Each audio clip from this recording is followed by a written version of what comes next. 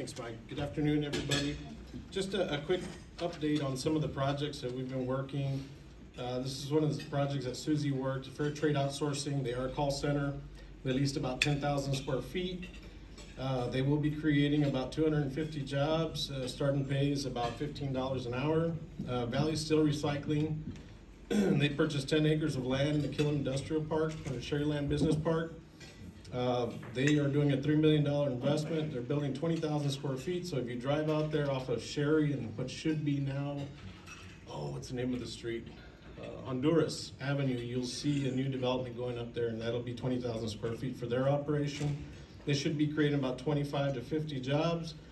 Vexus Fiber, they leased about forty-two thousand square feet in what used to be the old uh, McAllen Bolton Screw Facility off of Ware Road. Um, They are gonna have about ten or twenty full-time employees.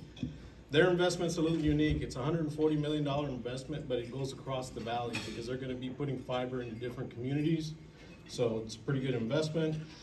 Uh, we also have a company called, well, we call it Project Fulfillment. We're not able to give the name of the company, but they lease thirty-nine thousand square feet in the Hammond Industrial Center. Uh, their capital investment's about half a million dollars. They're looking at five to ten employees. And of course, that operation will support their Mexico operation.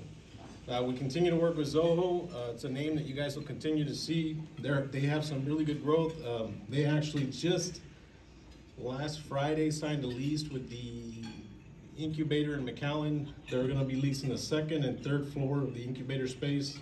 They're starting construction this week to finish out the space, but that'll be for their operations. They're gonna have about forty-five employees.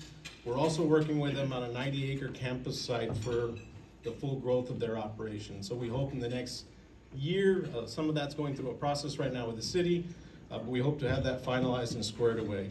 Um, also in Reynosa Baja Fulfillment, they leased hundred and three thousand square feet. It's unique, it's an operation that they're actually gonna be doing fulfillment for the US side. So you place an order on this side, whether it be through some type of a brand or a retailer, and the fulfillment's actually coming out of Mexico into the US, which is unique. We also have some projects, and, and I just wanna make mention of them, I can't say who they are, uh, they're in process. But we have a company that just leased ninety-six thousand square feet. Uh, they're gonna be adding an additional forty thousand square feet to that building. Uh, they're creating about 80 to hundred jobs. It's a fifteen million dollar capital investment. We're working to finalize their three eighty agreement with the city right now. Uh, but they already have lease, so we hope to make that announcement soon.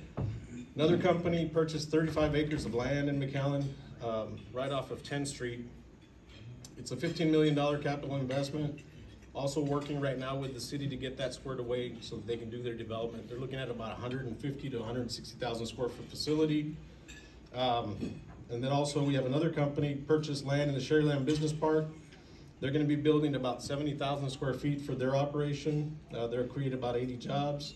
And then we're working with one contact center, uh, that is very close to signing their lease agreement, so we hope to be able to announce them soon. That'll be hundred jobs as well, and again, there'll be banking primarily. But that pretty much is what we have going on.